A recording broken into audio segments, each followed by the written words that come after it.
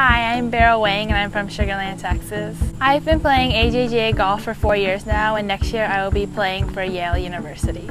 I really value education so I know I wanted to go to a school where I could get a degree and learn a lot and so Yale was a place that where I could learn a lot and also pursue golf as well. Balancing school and golf is really tough but I enjoy both of these two things so it, I guess it makes it a little bit easier. I just focus a lot during school, so when I come home from school, I can spend a lot of time on the golf course.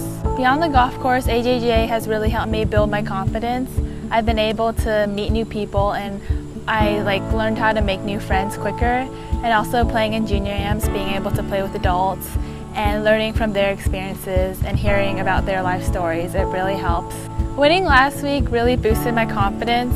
I felt like my golf game was always there, but it was just it helped me push over the edge and now I know I can win tournaments and so now as I approach every shot I feel more confident and I know that I can pull it off. My goals for next year going into Yale is to take a lot of new classes and learn new things that I haven't learned before and hopefully figure out what I want to do later on and also I'm really excited to play golf with my new teammates and get to know everyone.